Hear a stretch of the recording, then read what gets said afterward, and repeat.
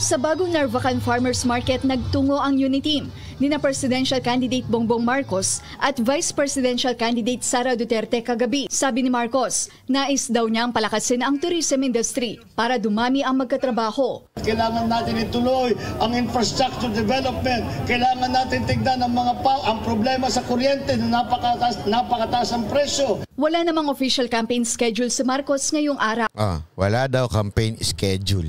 Din kaya yung kanyang kapartner. Patuloy naman ang pag-iikot ni Vice Presidential Candidate Sara Duterte Naku, sana pala nagpresidente na lang si si Mayor Sara, no? Ito ang masipag eh. Yung isa, na, na- napagod sa rally. Parang mahinang nilalang lang talaga, no? sa Ilocos Region. Una siyang nagpunta sa La Union Provincial Capital para mag-courtesy call kay Governor Francisco Ortega III. Oh. Tapos pinuntahan ng alkalde ang ribbon cutting ceremony ng kanyang Abay, masipag talaga si Mayor Sara Duterte. Palakpakan. Buti pa kayo, madam, ano? Masipag. Ba't yung kapartner nyo? Parang mahinang nilalang ata.